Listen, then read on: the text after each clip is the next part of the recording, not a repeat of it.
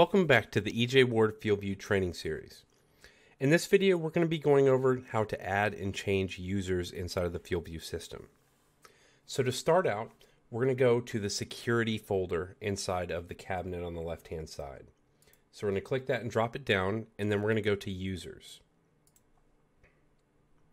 So inside of the user screen, we're just showing the activated users here. We're going to go ahead and click on add record to add a user. And we're just going to name our user here. So we have our username, which is going to be whatever they're going to use to log in. Then we're going to have a password, which we will not fill out yet. The next thing that we need to fill out is their first name and last name. After that, we have an email address. So we're going to put in the email address, and I'm just going to put in my email address so that I can get the email.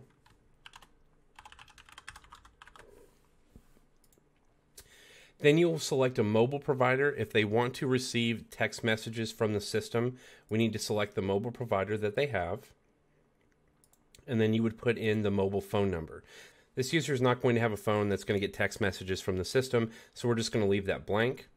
Remarks is whatever you want to put in there. So you can put in something like administration, or I'm just going to put in test user here. This is just for your purposes to look at.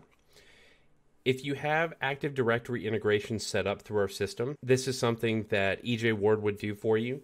You would select choose LDAP, and what that's going to do is the user is going to be able to log in with the same username that they have for their Windows system, and they're going to be able to use that password so we don't track the password through here.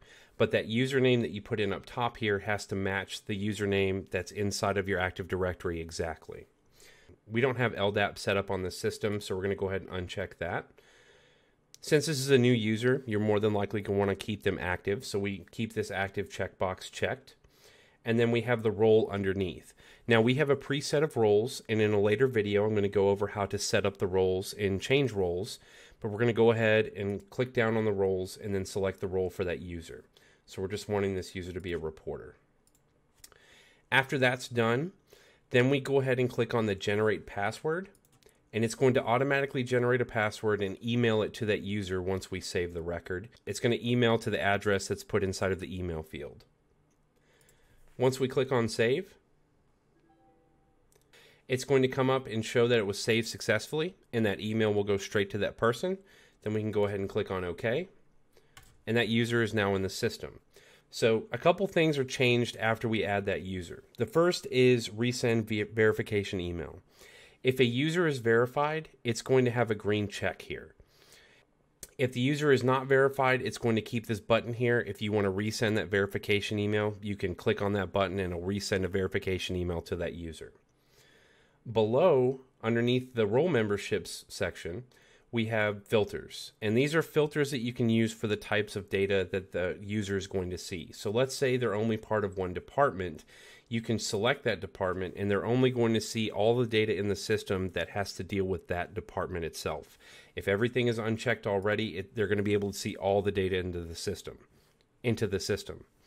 Uh, we have districts, departments, and sites. So you can filter through any or all of them if you want to, and then you just save it and you're done to change a user that's already been added. So we can go ahead and go to my user. It's going to be the same screen after you save, but you can see that I'm already verified. And you just change any information that you want to.